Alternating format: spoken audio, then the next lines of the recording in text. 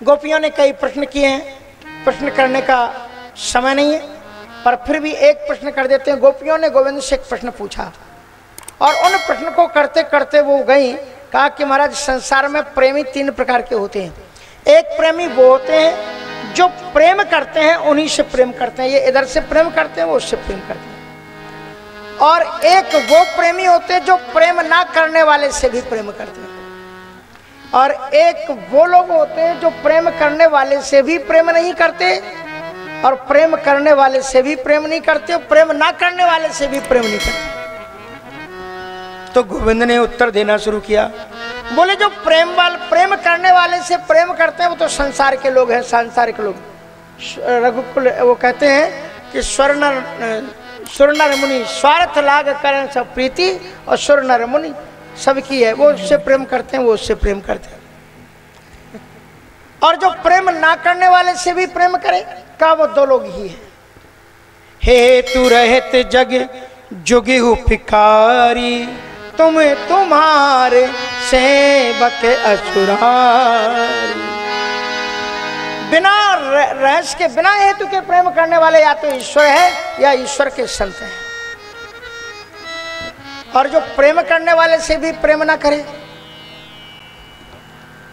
और प्रेम ना करने वाले से भी प्रेम न करे वो कैसा है? बोले उसकी तीन गतियाँ हैं। यहाँ तो गुरुद्रोही होता है। जो गुरुद्रोही हो जाता है वो संवेदना उसकी नष्ट हो जाती है। या तो गुरुद्रोही है वो। और या फिर दूसरी चीज़ उसकी ये हो, हो सकती है कि आत्मा राम है। अपनी आत्मा में रमन कर रहा है। यहाँ पर तीसरा कारण ये हो सकता है कि वो आप्त काम हो चुका है, उससे सारी कामनाएँ पूर्ण हो गई, किसी के मान सम्मान का कोई फ़र्क नहीं पड़ता, सम्मान, निरादर, आदर। तो भगवान श्री कृष्ण जी से गोपियों ने कहा कि आप इन्हीं में से बता दो, आप इनमें से कौन हो? आप गुरुद्रोही हो, या आप्त काम हो, या आप हो क्या, आप मुझे बताओ। तो भगवान श्री कृष्ण जी ने कहा, इन तीनों में से मैं कोई नहीं हूँ। बोले, फिर आप कुछ नहीं है?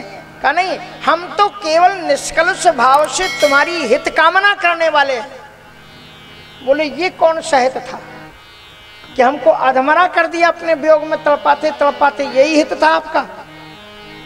कहा, क्योंकि अभी तक जो आप रास कर रही थी, वो वायु प्रेम था, बाहर से मैं आपको दिखलाई पड़ रहा था, वो प्रेम बाहर था लेकिन जब मैं आपके बीच से अदृश्य हुआ तो अदृश्य होकर के मैंने आपके अंदर में, रोम रोम में प्रेम को जगा दिया।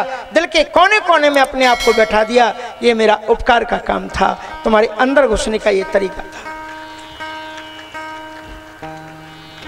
कई प्रश्नों का उत्तर देने के बाद में एक सखी तो इतने गुस्से में देख रही थी, कन्हैया को जब बाहर आए ऐसे हाथ किए गए और एक उंगली को यहाँ रखी हुई है और कन्हैया को उंगली दिखा रही है और आँख टेढ़ी की हुई आँखों को, एक आँखों को बंद कर रही है। तो उसने क्या किया?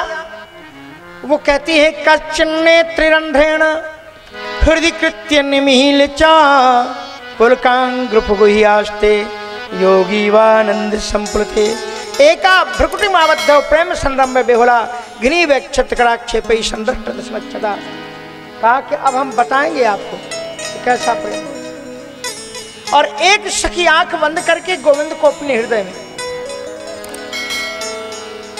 और इस तरह से भगवान को हृदय में उतारते जैसे ऋषि मुनि लोग उतारते लोचन मगिरा मही उरिहानी लोचन मगिरा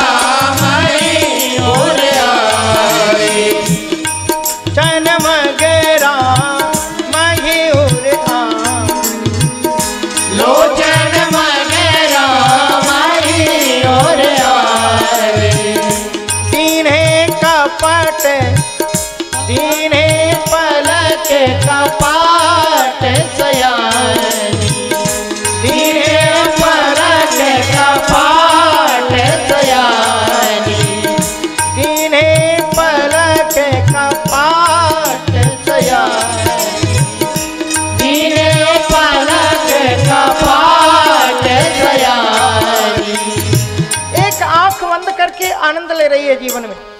मानो कि लोचन मग रामा है और आनी नेत्र मार्ग से नंदनंदन भगवान श्याम सुंदर को दिल में बैठा करके उनमें खो गई है और उनकी शुद्ध बुद्धि उसकी।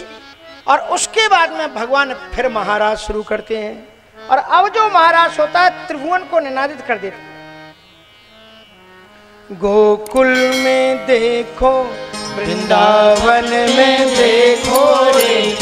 मुरली बाजे श्याम संग राधा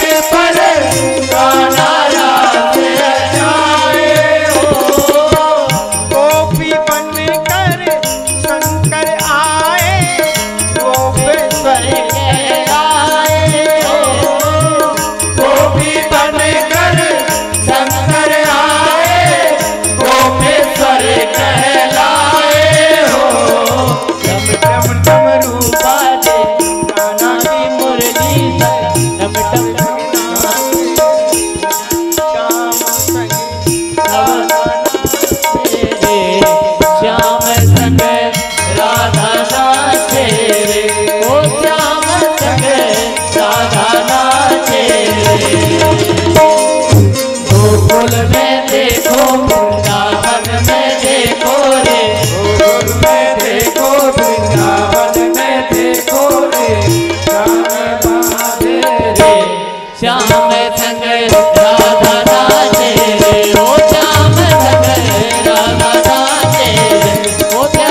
संग राधा नाचे रे अरे रास रचो है रास रचो है, यमुना किनारे कना रास रचो है रास रचो है रास रचो है, यमुना किनारे कना रास रचो है।